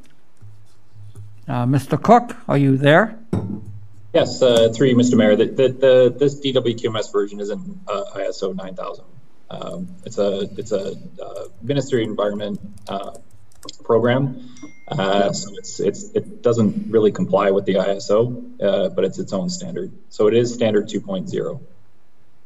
We are at standard point 2.0 at the moment then, is that, is that what we're saying? Through you, Mr. Mayor, yes, we are. We're at uh, DWQMS version 2. Okay, thank you.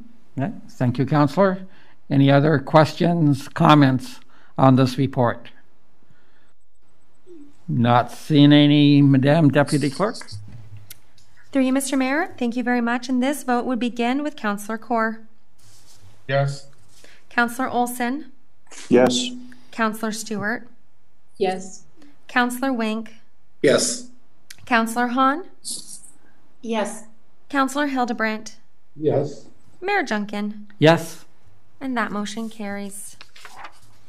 Mr. Mayor, this would bring us to item 10.2.7, and I do have a motion put forth by Councillor Stewart, seconded by Councillor Wink. Be it resolved that Council receive report number 2021-0054 for information, and that Council direct staff to implement an aerial spray program based on option two of the Bioforest 2020 Gypsy Moth Monitoring Program report. And I'm just looking for council for discussion. Thank you. Any questions, comments on this report? Counselor Wink. Yes, uh, through you, Mr. Mayor, to the Director of uh, Public Works.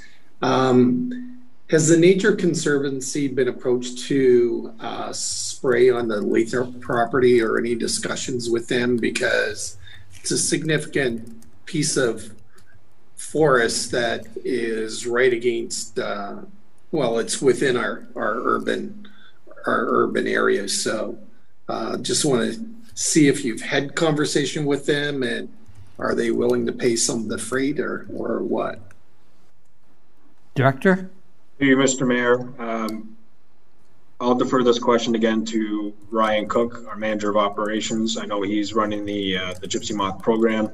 I'm not sure if uh, there has been any conversations with the conservatory themselves. I know we spray uh, in Marlene Street, Stewart Park, and around that area. But um, Ryan, do you have any comments with respect to that? Yeah, through you, Mr. Mayor, we haven't been in contact with the Conservancy, whether they want to, uh, uh, whether they're looking to have their uh, area sprayed. Uh, we did do some monitoring plots in and around there, and we're looking at doing some of our own spray in the, in the general area, but uh, um, not the uh, Conservancy. That would be a large private program. They might they might be involved with uh, Trees Unlimited to, to have that sprayed, like the the uh, uh, Niagara Peninsula Conservation Authority is, but uh, we haven't we haven't talked to the Conservancy. Counselor? Yeah, so wouldn't it be in our best interest that we do have some type of conversation with them so we know what what they're doing to their trees because their trees will affect our trees. Through you, Mr. Mayor, um, yes, absolutely. We can have those conversations with the conservatory. Um, just unfortunately, there are a number of private lands outside of town lands that uh, are going to be impacted by the infestation that will not be part of the spray program. So um, definitely, we can have the conversation with the with the Nature Conservatory to see if they have any plans with respect to doing a spray program on their own. Yeah, any other questions, Counselor? No, thank you. Okay, thank you. Uh, any other questions? I do have one myself for the director or for uh, Mr. Cook. Um, the I, I've seen the map this year uh, of the Ontario section, and it has uh, grown uh, uh, very much over last year. Um, could you uh, indicate to us uh, what the egg counts are indicating that this season will look like for Pelham? Uh, yes, uh, so through you, Mr. Mayor, I'll let Ryan expand on this uh, this answer a little bit, but um, in general, the infestation levels um, are again severe. Um, there will be defoliation um, that happens with our tree canopy, both in the urban and the rural setting. Um, egg masses, uh, number of egg masses are up. Um, the sizes of those new egg masses are smaller than what they've been in the past. So indications are that um, although the infestation levels are high, the uh, the sizes of the egg masses are indicating that uh, we could possibly be um, on the downturn of the infestation. Um, the unfortunate part is is that there is there is severe infestation still, and um, and we'll be developing a spray program that will uh, look to treat the most severe uh, severe areas where we feel that there will be uh, the most severe defoliation. Great, thank you for that. Now, Mr. Cook, anything to uh, add on to that? Through you, Mr. Mayor, uh, all indications in speaking with our forestry consultant is that Ontario is staring down uh, one of the worst infestations in the last 30 years. Um, multiple municipalities are, are looking at uh, doing spray programs. Um, in Pelham, I think we've done quite well over the last three years. We've, we're really the only one in the region that we're providing a, a, a public and private spray program. Um, so like the director of public works said, our, our egg masses are starting to, to decline in size, which really shows uh, uh, the health of the population starting to decrease. Uh, there's also indication of a predatory wasp uh, that's starting to attack the, uh, the egg masses. So uh, really good signs as, as far as, as far as the program and success that we've had. Um, definitely do need to spray. Might have to spray in a few different areas as the, the population uh, is kind of moved around a little bit. Uh, areas where we sprayed last year fared very well. Uh, areas where we didn't spray are again going to have uh, some severe defoliation. Excellent, and, and so that is exactly where I was headed with this. Um, will we? We do have leeway that uh, we can um, move our spray program around somewhat uh, we, we still only spray on town line though, or town land. Is that correct? Through you, Mr. Mayor, we do do portions of private property. Um, we really try to focus on urban areas where it wouldn't be really economically viable for a single uh, urban residential uh, property to have their, their property aerial sprayed if, if that was the case. So um, and really trying to get where the eggs and, and the gypsy moths are hatching. Uh, we try to protect around people's homes, but we can't we can't provide complete total spray of, of large woodlots in, in the rural spots. But uh, definitely looking at uh, kind of expanding some of the, the urban areas out into woodlots beside. Um, that's kind of where we're we're heading. But uh, Fenwick, South Fenwick, uh, South Fonthill, the the Welland, uh, Welland Road corridor and maybe a little bit north of Fonthill as well. So those are the kind of areas we'll be looking at uh, focusing on this year, I think. Excellent, because actually I was thinking of, uh, I know I've talked to some residents in the South Fenwick area, and I don't think we've sprayed that the last two years. Uh, so if we could, be nice if we could uh, drop some, uh, whatever it is we drop on uh, that area. Right, thank you. Any other questions, comments? Not seeing any, I'll turn to the deputy clerk. Three, Mr. Mayor, thank you very much. And this vote would begin with Councillor Olson. Yes. Councillor Stewart. Yes. Councillor Wink. Yes. Councillor Haun. Yes. Councillor Hildebrandt. Yes. Councillor Kore. Yes. Mayor Junkin. Yes. And that motion carries. Mr. Mayor, that does bring us to item 10.2.8, and this is a motion put forth by Councillor Hildebrandt, seconded by Councillor Haun. Be it resolved that Council receive Report 2021-0100 Public Works entitled Update on Pedestrian Safety when Crossing Pelham Street at Churchill for information purposes. Looking to Council for discussion. Thank you, Madam Clerk, uh, Deputy Clerk, and I will turn to Council. Uh, on any questions on this report? I see Councilor Hildebrandt. Here you, Mr. Mayor. Uh, thank you for the report, Director of Public Works. Uh, it seems like the report keeps coming back with us with the same answers for us all the time, and they're just recommendations. I'm concerned about the elevated uh, walkway comment that's still on there. I, I don't know whether they're called speed bumps in other terms. But uh, is there any real differences between this report and the last report we got on uh, these crossings? Director of Public Works. Thank you, Mr. Mayor. Um, it is very similar in nature. Um, the report was meant to give council a complete view of um, what those third-party engineering reports came back with as recommendations. So Um, the easy wins and the quick wins for, for the town of Pelham and engineering department is to implement some of the minor safety improvements that can be done. Um, in general, the, the pedestrian crossings, um, according to both consultants, are not warranted uh, to be, they weren't warranted to be installed in the first place. Um, it was a decision of council, previous council, to install those signals. So basically, um, the recommendation is to provide some minor safety improvements, um, improve the line marking signage, and allow them to function as is. Um, they're currently functioning uh, um, fairly well. Uh, we haven't had a lot of safety issues um, and, and accidents with respect to those signals. Um, so that's the recommendation. Now the consultants also came back with some further uh, recommendations that could that council could consider uh, moving forward with as part of uh, as part of these um, pedestrian safety crossings. Um, those would include um, raised crosswalks to identify the crossing area. Yes, it would be uh, more of a uh, speed bump, um, something like you would see on Haist Street.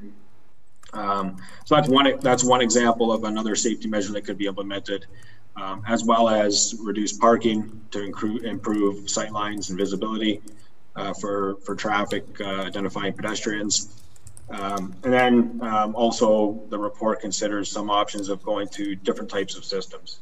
But in all, um, you know, with respect to the signals that are in place, the capital costs have already been incurred by the town. They're in place, they're operating uh, to switch it out to another um, system, that, that would be a decision for council to make. But the recommendation uh, in this report is to basically leave the signals in place and let them operate as is with the minor safety improvements. Councilor Hildebrandt? Yeah, one more question to the Director of Public Works. With the reconstruction of Pelham Street, which is going to be a major, major event, is that the time where, where you're going to do more infrastructure at these crosswalks? Or is that something not contemplated at this time? Because eventually, Merritt Road, I would presume, would get a stoplight. Probably Haist, probably P Pancake might get one. I'm not sure. What are the considerations for that reconsider, reconstruction of Pelham Street? Deputy uh, uh, Public Works, please. Sure. Uh, through you, Mr. Mayor. Um, I do have Derek Young with me. He's our manager of engineering, um, and he's uh, kind of an expert on the matter uh, with respect to these signals. Um, and I will make one comment prior to allowing him to speak on the, uh, the, the use of those signals and the implementation of the signals moving forward. Um, we are in the process of getting ready to tender phase two of Pelham Street reconstruction. The limits of that are just south of Pancake and John on Pelham. And the design has been uh, completed again using the same pedestrian signal that's there now. So the, the intent for this next phase is not to install a fully signalized intersection at Pancake John uh, and Pelham, um, and that we continue on with respect to using the pedestrian uh, signal signal as it is. Uh, Derek, if you may want to have a comment with respect to future plans for additional crossings and the need for a signalized intersection at Merritt. Uh, yeah, uh, through you, Mr. Mayor. One of the other things we need to consider, as, as you mentioned before, Councillor, is Merritt Road. Um, we're in early discussions with the region with regards to the urbanisation of Merritt, um, but also whether or not they want to look at putting a signalised intersection there. Um, more so because we believe the majority of the traffic that's heading north on Pelham will divert down Merritt to head to the 406 once that's fully open all the way through, which will ultimately reduce traffic heading north up through Pelham, Port Robinson, you know, which could in essence remove the signal, well, the crossing at Pancake, because there would be a signalized intersection at Merritt and um, Pelham Street, which would also remove the one at Bacon Lane as well. What we need to be careful at and take into consideration is when we do the next phase of design in phase three for Pelham Street, is how far we take the, the sidewalks um, on both sides of the road. Do we take them all the way down to Merritt, or do we go further and take them down to Spruceside? So these are the kind of questions we need to start looking at now and try and plan for the future, which is why we're in discussions with the region on, on what they're looking at taking forward as well. Um, it's one of those things where the region does not want to commit um, to a fully intersection, uh, signalized intersection at Merritt and Pelham at the moment until they're finished doing their due diligence. So it is something that's in the future to be discussed. Um, but at the moment, we're just planning on leaving the crosswalks, the signalized crosswalks, where they are at the moment.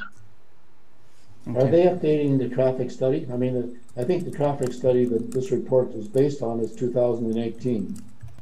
It's based on 2018 traffic counts. Okay, so they used the traffic counts that we did in 2018. Um, doing a traffic count currently in the in the COVID situation, you wouldn't get the proper counts uh, because obviously traffic is variable and it's also significantly reduced um, because there's not that much traffic out there at the moment. A lot of people have stopped doing traffic counts at the moment due to the fact that the traffic is sporadic um, and it's based on whatever zone you're zoned for lockdown, whether it's a gray zone or red zone, whichever it's in is determined the amount of traffic you're going to get. So we have to go back to the 2018 ones where we felt there was a good cross section of traffic that we could rely on where it was valuable data. Thank you. If I have a, uh, a question for you, uh, Mr. Young, um, going through the report, it had um, um, quite a few uh, alternatives, solutions, whatever. I, I, I don't like the uh, uh, the the one of eliminating parking spots, although I could see it tell you honest truth, on the west side.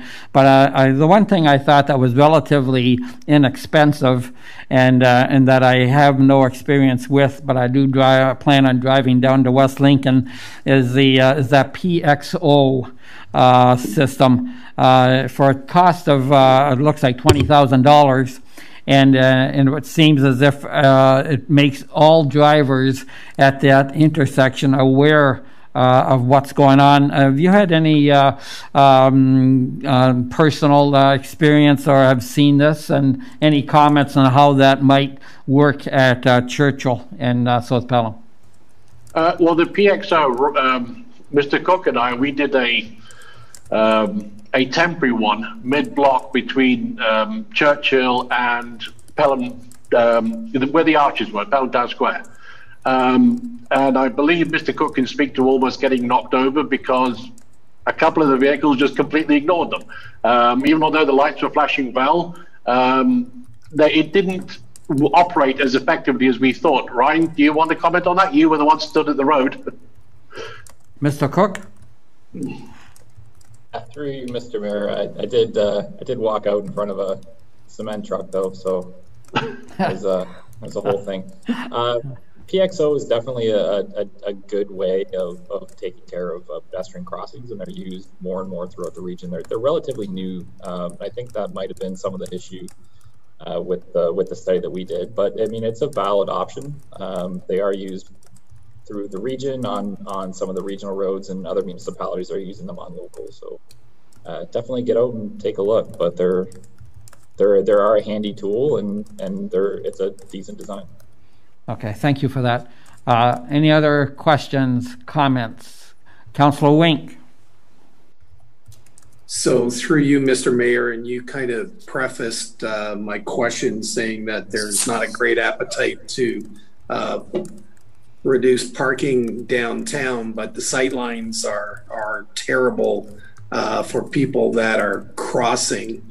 Uh, cars can't see who's standing at uh, at the crosswalk. Um, with the recommendations that they're putting in, how many parking spots would need to be eliminated to provide this uh, uh, a more safe uh, crossing area? Um, go ahead. Well, thank you, Mr. Mayor. Um, I believe on the west side, um, north of Churchill, we, two parking spaces would probably get lost there. So um, right by the church. Right by the church, yeah. I mean, if you have a, a truck parked there or a van, you cannot see past there at all. Um, even as a pedestrian stood there, you you still struggle to see past the vehicle that's actually parked there. Um, and I recommend 30 meters uh, from the crossing point. Um, so if you measure that out, the parking spaces are normally six meters, seven meters long. So you know, it, it's, it could go further, but I, I think two would be sufficient.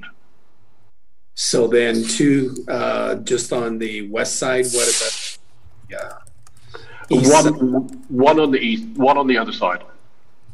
Okay, so we would lose three parking spots, which is not ideal, but the safety of pedestrians would increase significantly. Through you, Mr. Mayor, it's not just the pedestrians, it's also the people exiting Churchill in their vehicles would have a better sight line of the vehicles heading south on Pelham Street, as well as being able to see the pedestrians there. It's tough to differentiate between the cars heading south and the people waiting, waiting to cross. So a lot of people are looking for the vehicles and not looking for the pedestrians, so they don't see the lights change, so they, they turn, you know, when they see a gap. Instead of this way, they would notice the pedestrians stood there, as well as seeing the vehicles heading south. So are we making, is staff making a recommendation in this regard, or is that going to come back to us? As Councillor Hildebrandt said, we've seen this a number of times now, so. Through you, Mr. Mayor, we can recommend that we remove, but you know, the parking spaces. However, we understand that council is not in favour of removing parking spaces from downtown. Um, so that's why we put in the report. We recommend for now that we only install the the signs, the signage, and maybe do some additional line painting, which we can take out of the operating budget for now. Um, and we'll see how that benefits the intersections and the crossings. Um, and if it still doesn't create enough safety, then we can always bring another report back to council and saying it's not working well. We think we need to consider removing the parking spaces. Okay, that's fair. Thank you, Derek. Um, Yep, Counselor? Yeah, through you, Mr. Mayor. Um, getting back to phase two of Pelham Street uh, construction, um, there's going to be some form of raised crosswalk at uh, Port Robinson and Pelham Street. Can that type of crosswalk be put at Pancake and, and Pelham Street? Would that help the intersection at all? So I'll answer that through you, Mr. Mayor. Um, so the, the traffic calming measure that's being proposed um, at the intersection of Port Robinson Road and Pelham Street is called the raised tabletop intersection. So in essence, uh, the entire intersection, including the crosswalks, is raised three to four inches across the across the road section. Um, so in essence, uh, you'd be um, slowing down, driving up onto the platform, cross the intersection, and then back down uh, the, uh, the, the, the slope into the um, existing road surface. So the entire um, intersection is raised. Um, with the raised crosswalks, um, again, it would be the same principle, but it would be a much narrower um, area that gets raised and would act more along the lines of a speed bump that you would have on Haist Street. Yeah. So there's there's no plan then. It's not in the plan to have a raised crosswalk at Pancake. Then is that correct? Uh, through you, Mr. Mayor, uh, that is correct. There is not a plan to have a raised crosswalk at Pancake. Okay. Thank you. Okay. Any other questions, comments? Uh, Councillor Haun? Yes, through the mayor. Um, so I'd be remiss not to, to highlight, I talk to constituents all the time that are trying to make a left from Pancake onto Pelham. Um, and at peak times, it's, it's very challenging and very frustrating. Um, you know, sometimes they'll actually get out of their car and push the crosswalk uh, button to, to change things. You know, like it's just it's it's it's very very challenging. Um, so uh, I think that that has to be really taken into consideration. So from a safety perspective, slowing down traffic, absolutely, I, I get all that, but I also understand that people need to be able to make a left-hand turn there, and that's so challenging. I also um, don't know where we're at at this point in time with regards to the possibility of that apartment building that was proposed near that intersection. That would significantly increase traffic as well because it's so close to um, that intersection. So uh, I, I, think what I understand is that will be probably coming back to us at some point in time, but that has to be taken under consideration. And also recognizing that we are in COVID and traffic counts will be very different. But after almost two and a half years, I think we can all agree that our population in Pelham has significantly increased and will likely can continue to do so. Um, so knowing we're going to have more vehicles um, going through that intersection, um, I, I really think we need to consider what we're going to do about traffic making a left-hand turn there. Thank you, Councillor. Uh, uh, yes, um, Derek. Uh, through you, Mr. Mayor, uh, to Councillor Haun, what, that's one of the things we're in discussion with with regards to the region, with the intersection at Merritt. So what we're hoping will happen is a lot of the traffic that is heading north will be stopped if it becomes a signalized intersection, which will make the left turn out of Pancake Lane a lot easier. Um, it'll hopefully also hopefully direct a lot of the traffic towards um, the 406, um, so that it takes a lot of the traffic away from heading up through Pelham. Thank you. Thank you for that, uh, Derek. Any other questions, comments? Uh, uh, Director of Public Works. Yes, thank you. Through you, Mr. Mayor. Um, also identified in the report, and this is a request that came through um, the Pelham Active Transportation uh, Committee, uh, was the fact that the timing for the uh, pedestrian signals was there was too long a delay from the time you actually activated the push button uh, till when the uh, signal uh, turned red and allowed the the um, pedestrians to cross. So currently the timing on those signals is 10 seconds and the region has reviewed it and uh, they are making uh, the timing change to five seconds. So they're reducing that in half. Um, so we're hoping that will um, allow, um, will prevent pedestrians from uh, crossing the street without having the signal activated. Thank you for that. I, I saw that in the report, and uh, I was going to mention that. Thank you for bringing that up. Thank you. Any other questions, comments? Not seeing any, Madam Deputy Clerk? Three, Mr. Mayor, thank you. Um, then we would start the vote with Councillor Stewart. Yes. Councillor Wink. Yes. Councillor Haun. Yes. Councillor Hildebrandt. Yes. Councillor Kore. Yes. Councillor Olson. Yes. Mayor Junkin. Yes. Thank you. That motion carries. Through you, Mr. Mayor, that does bring us to um, item number 14. This is motions and notices of motion. And for item 14.1 is the notice of motion from yourself, Mr. Mayor, if you'd like to go ahead and um, provide your information. Yep, thank you. So just a very brief outline of what we're uh, looking at. Um, uh, Head Councilor Kore second this motion.